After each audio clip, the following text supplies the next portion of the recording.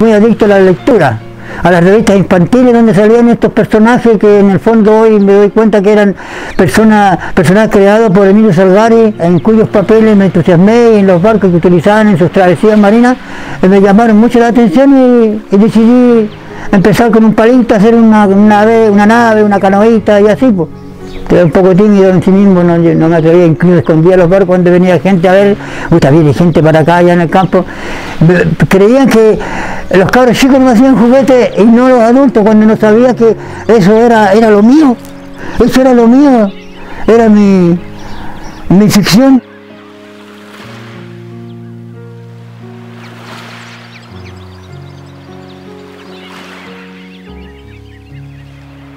El primer barco eran chiquititos, pero el de los grandes que está acá adentro, ese me demoré un año, ocho meses en hacerlo, uno grandote que está renovado hoy. Viene el, modelo y calculo cuál es uno y cuál es el otro y de un lado hago las similitudes en ambos lados, ambos costados digamos. Y voy leyendo cómo se llaman las piezas, cómo utilizar las piezas cada uno que llevan y así, etcétera. Y ahí me dediqué yo mismo a poner algo de mi parte también porque no voy a estar solamente copiando.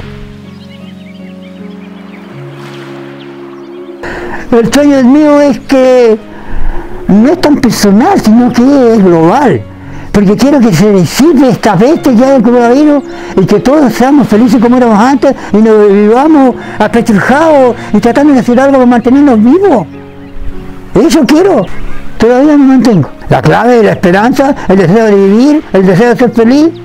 Eso, ser respetuoso y que me respeten que mis hijos me quieran, que no me ayuden, pero que me, tomen en cuenta que yo existo. ¿Qué representa un barco para usted, don eh, regocijo, orgullo, contenta, eh, eh, felicidad de hacer algo que yo digo, mira que lo que hiciste, mira que hoy está bueno, después no estoy capaz de hacer otro igual, pero es que uno es capaz, uno tiene que buscarse la capacidad para lograr lo que es su objetivo y, quedar contento, dormir feliz porque ya hice algo, y cuando no hago nada, me siento desconforme porque, disconforme porque puta, no hice nada.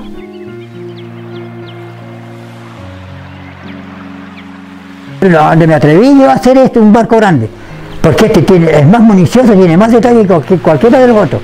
Este barco tiene hasta cañones, tiene para que me demore mucho en este. Él es un hombre que tiene mucho talento y lo va puliendo desde el reciclaje además y en el camino fuimos conociendo su historia humana, a su familia, a sus hijos y también a la gente que desconoce que él tiene todo este museo viviente aquí en su casa.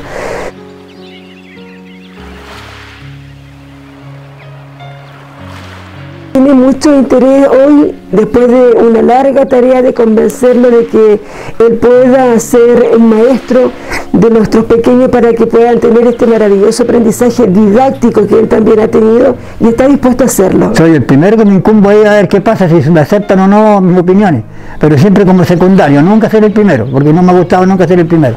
Aunque tenga o no razón yo, yo me quedo quietito en el segundo grado. ¿no? Así como aprendí yo, y sin que nadie me enseñase, ¿por qué no voy a enseñar a alguien para que tome un arraigo de estas cosas mías y hagan algo. Pero ¿qué más quiero si lo tengo todo? Lo tengo todo, en especial la salud. Eso, lo demás, lo material no me interesa, me interesa yo mismo que estoy atentado dando gracias al Señor, que estoy todavía eficaz para cualquier cosita, cualquier trabajo, voy a comprar, voy o no voy, voy al centro, hago mis pasos, soy soldador, alarco, dibujante, escritor, ya no estás en mi jardín, te vas a marchitar. Por más que te riego, por más que te regalo, siempre estás conmigo y yo nunca te he olvidado. ¿Por qué te fuiste tan lejos? ¿Por qué te fuiste hacia Dios?